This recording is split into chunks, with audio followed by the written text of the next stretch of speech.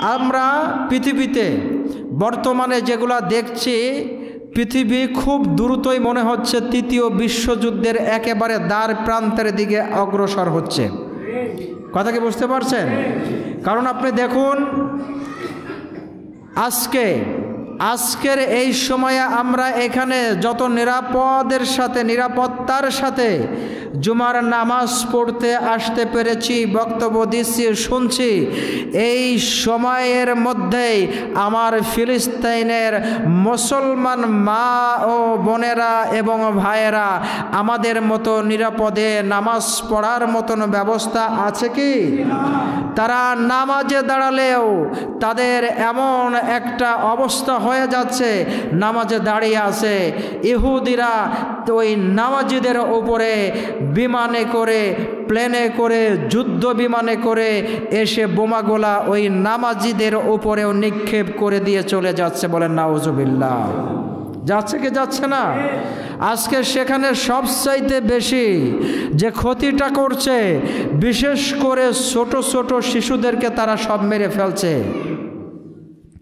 কারণ তারা জানে যে এই ছোট শিশুরাই একসময় বড় হয়ে তারা এই বর্তমান ফিলিস্তাইনের ভবিষ্যৎ প্রজন্ম হিসেবে এই ফিলিস্তাইনকে তারা তাদের হাতে শাসন করবে, ঠিক না বেঠি এই জন্য তারা ছোট ছোট শিশুদেরকে এমনভাবে মেরে ফেলছে, যারা নিষ্পাপ, যাদের কোনো গোনা নাই, তাদেরকে মেরে ফেলছে।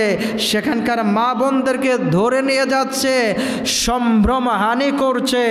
সেখানকার মুসলমান যুবক যারা রয়েছে, তাদেরকে ধরে নিয়ে যাচ্ছে, তাদেরকে মেরে ফেলা হচ্ছে। এইভাবে একের পর এক, দিনের পর দিন, রাতের পর রাত, সপ্তাহের পর সপ্তাহ, মাসের পর মাস আমার মুসলমান ভাই বোনদের উপরে জুলুম, নির্যাতন, বোমা ওই ইহুদিরা বর্ষণ করতেই আছে করতেই আছে বলেন ঠিক কিনা? কিন্তু যতই তারা জুলুম করুক, যতই তারা নির্যাতন করুক, পৃথিবীর থেকে মুসলমানদেরকে ধ্বংস করে দেওয়া কি সম্ভব? পৃথিবীতে যতগুলো মুসলমান রাষ্ট্র আছে আমার মনে হয় মুসলমান রাষ্ট্রগুলো যদি একত্রিত হতো, ঐক্যবদ্ধ হতো, তাহলে বিধর্মী কোনো রাষ্ট্র মুসলমানদের দিকে চোখ তুলে কথা বলতে হলে কমপক্ষে একশোবার ভাবা লাগতো। কথা বলেন? কারণ ওই ইহুদিরা খ্রিস্টানরা, বিধর্মীরা, ভিন্ন ধর্মীরা চলার জন্য যা লাগবে, অধিকাংশ মোস্ট ইম্পর্ট্যান্ট জিনিসগুলায় আল্লাহ এই মুসলিম কান্ট্রিগুলার মধ্যেই দিয়ে রেখেছেন। আল্লাহ আকবার। এ ক্ষমতা কার? আজকে দেখেন তেল।